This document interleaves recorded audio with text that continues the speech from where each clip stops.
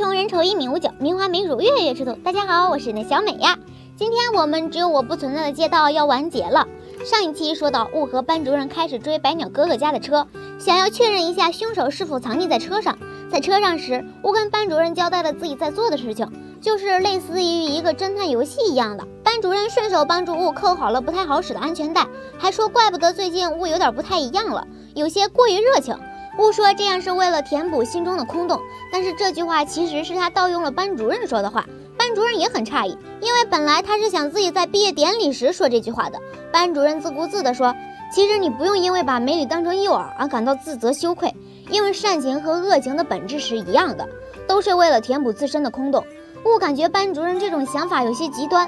班主任开着开着车，手便不自觉地敲起了方向盘。雾知道这是老师戒烟后的习惯，他戒烟后总是用棒棒糖来代替烟。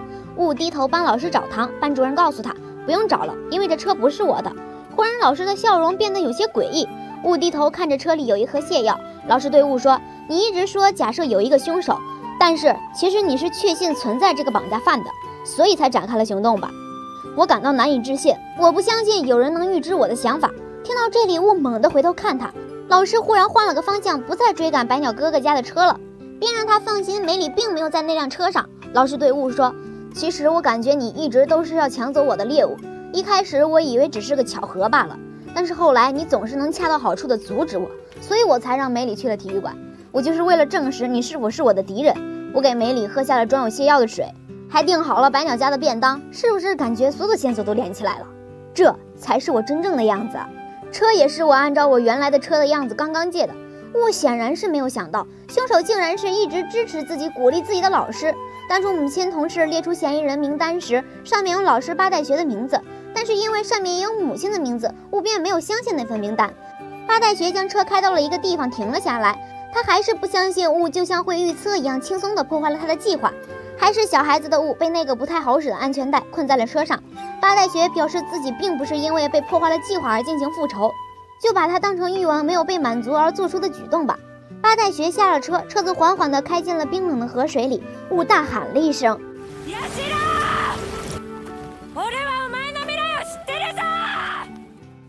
八代学好像是停住了脚步。画面转到一只小仓鼠，八代学讲了一个故事。小时候，他曾收到几只仓鼠，仓鼠繁殖的也越来越多。后来，他把仓鼠全都扔进了装满水的大瓶子里。回到家之后，发现有一只仓鼠正站在同伴的尸体上求生。看到这幅景象，他想起了一篇短篇小说：一个穷凶极恶的坠入地狱的名叫犍陀多的男子，因为生前救过一只蜘蛛，佛祖从极乐世界放下了一根蜘蛛丝。犍陀多开始顺着蛛丝朝极乐世界攀爬，其他的王者都跟着他一起爬，但都被他踹了下去。这时蛛丝断了，他再一次坠入了地狱。当他看见那只努力求生的仓鼠之后，他仿佛能够看见人类头上的蛛丝，他将头上有蛛丝的人都杀了，直到遇到了那个阻止他的少年。少年头上也有一根蛛丝，他没有杀他，而是开始偷偷的观察他。日子一天一天的过去，我已经躺在医院的病床上十五年了。终于有一天，他睁开了眼睛。是他的妈妈每天都在用心的照顾他，但是他的记忆却有些残缺。直到他苏醒之后，他的朋友贤野和广美都来医院看望他。贤野做了律师，广美做了医生，而楚月也和广美结了婚，生了一个可爱的男孩子。一切仿佛都朝着好的方向走。雾开始努力的做复健，陪白血病的女孩聊天。这时来了一个不速之客八代学，但是此时的雾还没有想起以前的事。八代学说，他结婚的时候成了入赘女婿，他的岳父是市议会的议员。岳父去世后，他便继承了岳父的势力，成了市议员。这一次的见面，两个人并没有过深的交谈。这一天，吴正想去看望那个白血病女孩的时候，又遇见了八代雪。八代雪打算和雾好好的聊一聊。两人来到了医院的楼顶。到了楼顶之后，雾表示自己的记忆已经恢复了。八代仿佛又看见了雾头上的那一条长长的透明的蛛丝。原来，在八代来之前。雾已经把所有的事情都告诉了贤野和广美。贤野和广美一人是律师，一人是医生，都是因为雾的影响，因为他们是正义的伙伴。八代一直不解为什么雾总是能预测他的行动，但是雾并不想告诉他什么。难道要告诉他自己是美貌与智慧并重、英雄与侠义的化身——穿越侠吗？八代拿走了雾的手机，并告诉他，那个白血病的小姑娘今天的药里面掺着肌肉松弛剂的袋子，上面还有雾的指纹，所以雾又成了替罪羊。八代学还拿着雾的手机给他妈妈编辑了一封遗书，但是其实雾的妈妈早就知道雾恢复了记忆。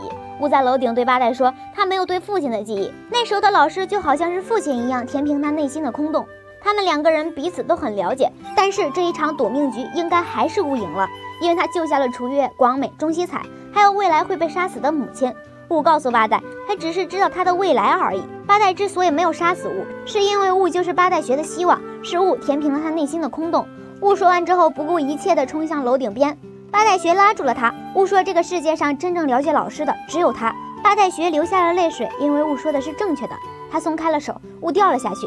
就在八代学想要从楼顶跳下去结束自己一生的时候，雾在底下的气囊上笑着看着他，而八代学头上的蛛丝也断了。这一局他还是输了。最终，八代学因为杀人未遂被逮捕了，生活回到了正轨。雾以画漫画为生，重映再也没有出现在雾的身上。